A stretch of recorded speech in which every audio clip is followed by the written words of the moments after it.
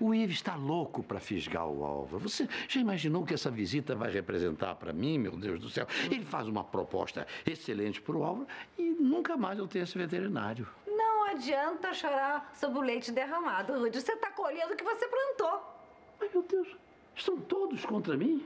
Pai, eu só marquei essa visita porque você mesmo disse que não fazia tanta questão do Álvaro assim, ué. Meu amor, eu falei. Não vou negar que falei. Mas falei numa hora de raiva. Tá, falei da boca para fora. Mas imagina eu perder um funcionário meu pro Ives. Com que cara eu vou ficar, Bruna? Tá bom, pai. Se é em nome da tua vaidade, eu vou tentar reverter a situação, tá? Agora eu vou jantar com o Álvaro e vou tentar fazer a cabeça dele, tá bom? Jantar fora outra vez? Não, não. Ah, eu mandei fazer aquela truta que você ama. Ô, truta, mãe. Oi, filha. Ai, que pena, mas eu não vou poder ficar. É que eu tô muito feliz e eu tenho que dar uma saída pra comemorar essa felicidade, sabe? Bruna, o Álvaro, afinal, fez o pedido de casamento para você? Não, eu não tô tão feliz assim. Mas também não deixa de valer um brinde. Ai, eu tô doida pra saber o motivo dessa felicidade. Eu consegui me livrar daquela governanta, mãe. A essa hora ela tá muito longe daqui. Pra nunca mais voltar. Muito bem. Agora o melhor da brincadeira. Vocês vão aprender a fazer uma especialidade espanhola. Chama-se pantamaque. Planta o quê, dona Madalena? Pantamaque. Significa pão com tomate em catalão. Catalão é uma língua que eles falam por lá, viu? Pantamaque. Pantamaque. Pantamaque. Pantamac, tá aí, gostei do nome. Parece um grito de guerra. Ei! E não, parece xingação. Que nem é songamonga. Gente, minha professora de educação física é completamente Pantamac. Gente, e o Fafá, hein? Ele tem uma carinha de pantamaquinho.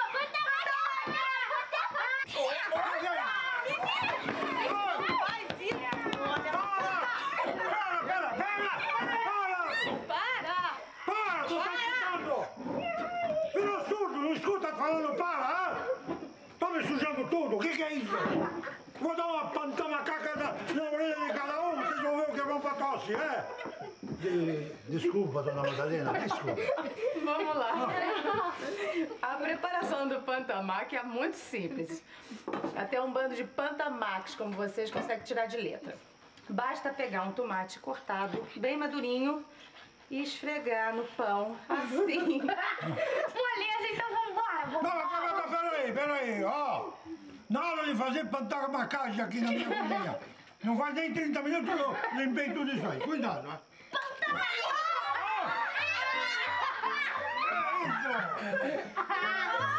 Olha! Para, Gente, não, gente, para, pelo amor de Deus, não vai todo sobrar um tomate pra contar a história. Seu Donico, se prepara. Quem vai te plantar matar sou eu. É pequeno, agora quem vai te Pantamac sou eu. Tá bom. Chega, chega, chega. Vamos, vamos, vamos. Vai, vai, vai.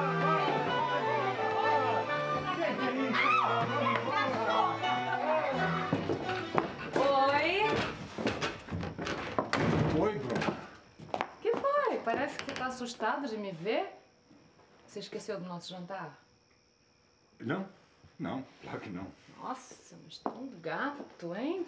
Essa produção toda é só pra sair com a sua noivinha, é?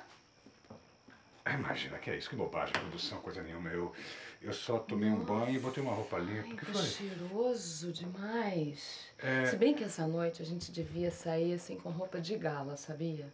Você de smoking, eu de longo, porque a gente vai comemorar uma vitória minha. Uma vitória nossa.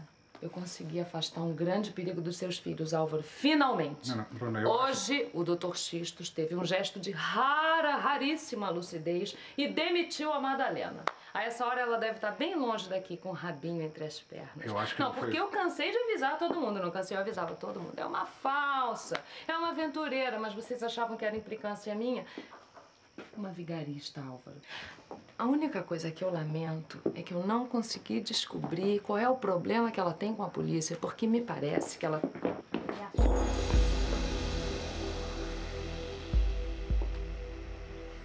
Madalena?